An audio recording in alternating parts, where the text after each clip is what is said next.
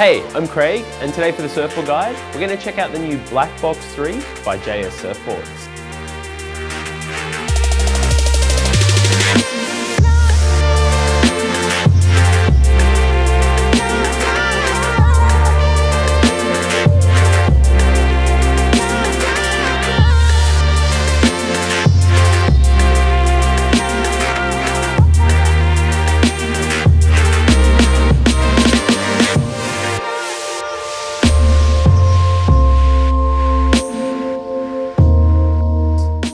The Blak box 3 they'll be riding is the stock 5.9 and it comes in at 5.9 by 19 and 5 eighths by 2 and 7 sixteenths and exactly 29.9 litres. So the Blak Box 3 is obviously the third version of the Blak Box by JS. Um, I was lucky enough to surf the Blak Box 1 uh, back in the day. I think it was around 2000, it was around eight years ago, 2010.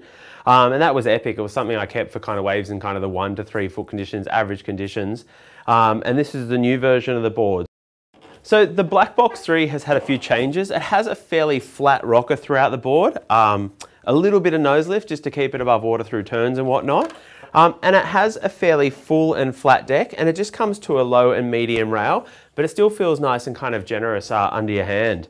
Uh, flipping over the Blak Box 3, uh, there's a single concave that starts up under the nose, goes through the board, and it's just a gentle double that comes through the fins, and it just keeps water moving through the board and flowing nice and easily.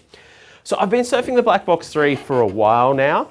Um, this is something I kind of grab in kind of, you know, waves that are maybe onshore, kind of junky, kind of one to four foot, but you still want to surf a performance shortboard kind of outline.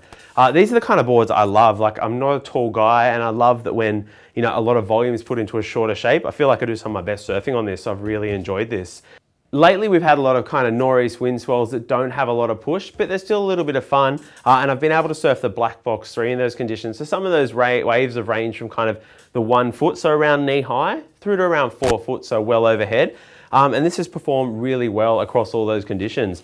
Uh, what I've actually enjoyed is actually got like a nice distribution of foam uh, under the board and it paddles really easily and gets into waves nice and early. Uh, and also the, the concave and that distribution of foam uh, keeps you skating, I guess, across flat sections and connecting sections really easily. And I've mentioned a few reviews before, what I really enjoy, and it's I guess something I've really enjoyed on the Blak Box 3 is a lot of foam under your back foot.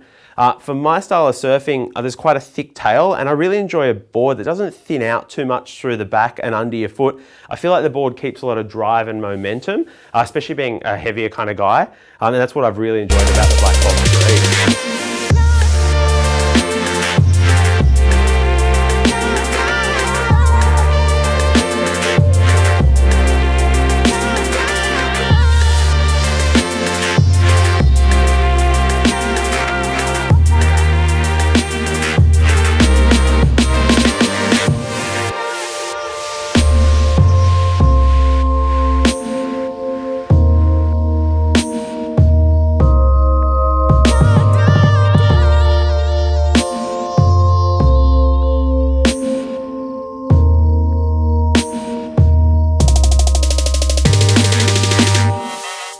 Even though the Blak Box 3 is designed for kind of average kind of beach break conditions, I think this performance outline actually allows it to still perform in, in good quality waves as well. I've actually been lucky enough to surf it in some waves that have been a little bit better and bigger. So around the three to four foot, so kind of overhead range.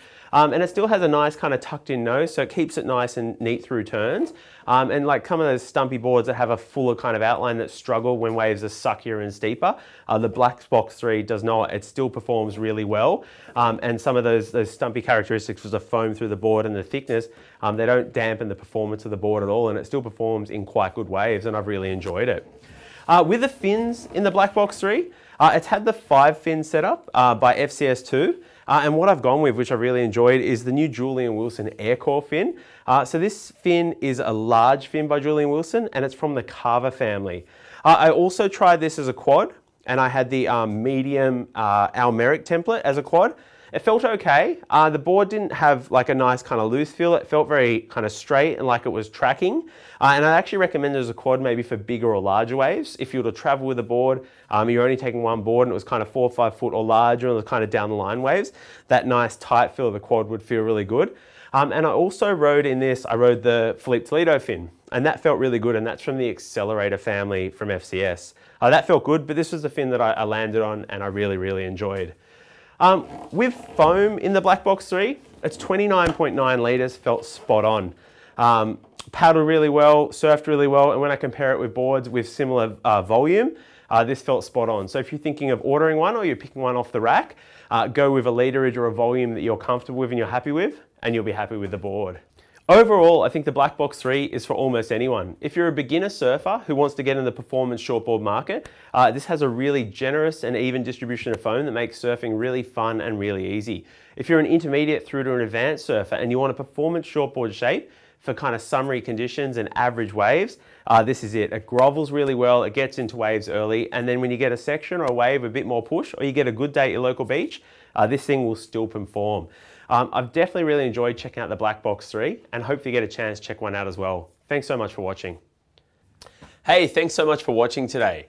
If you like what you saw, it'd be greatly appreciated if you could hit like. Uh, if you want to see more of what we're doing, it'd be greatly appreciated if you could subscribe. Um, beyond what we're doing here on YouTube, we also have an Instagram account which we're keeping pretty active with. You'll find it on Instagram at the Surfboard Guide. And on there, we'll be posting stuff about boards we have, immediate stuff about our experiences with them. You'll also have a chance to maybe connect with other people that have an experience with board that you may be interested in. Thanks so much for watching.